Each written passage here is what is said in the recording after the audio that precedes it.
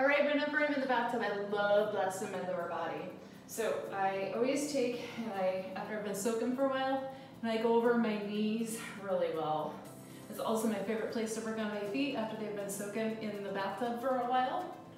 Okay, so after I've done my knee, I love taking a nugget. Either, either you know, a solo nugget or the ends are the same. Now you do have a flat end and a pointy end.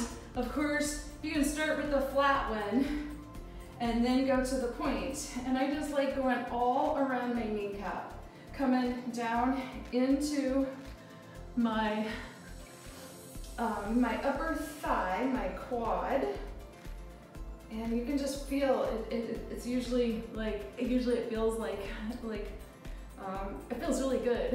And if you find a bad spot this is your connector here you can just kind of poke and wiggle on it, which just, I go in and I shake. Then this is more of a crayoning method.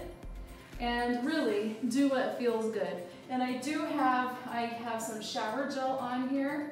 I also, once in a while, I will use like a castor oil or a glycerin. Glycerin is water soluble. Um, the castor oil, it doesn't, uh, it's a little thicker and it doesn't uh, wash off too easily in the tub here. Okay, so then I come, I come all the way around that knee. It's just a nice place to do it. I can lay my head back. I've got a deep conditioner in my hair. I usually have a face mask on too, but I didn't want to scare you. And then this is another great spot, is out here. Oh, those peroneals are so nice, okay? So just use those nuggets. This is the perfect time to do it, okay? You can go all the way down, do everything, but I just wanted to give you a couple of tips. So just doing up there already makes my rotation feel better. Now, a couple tips for the feet. You advanced blasters all know how to do your feet, but when you're in the bathtub, a couple of things.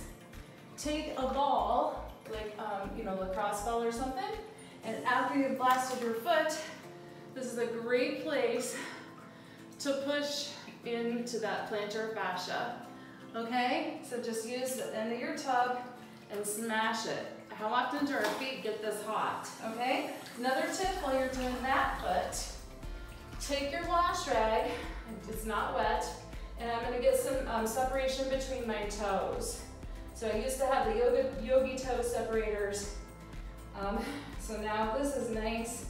Just to take um, whatever you have sitting around, a washcloth is perfect basket weave between your toes, get some separation on that foot, and work the plantar fascia in your other.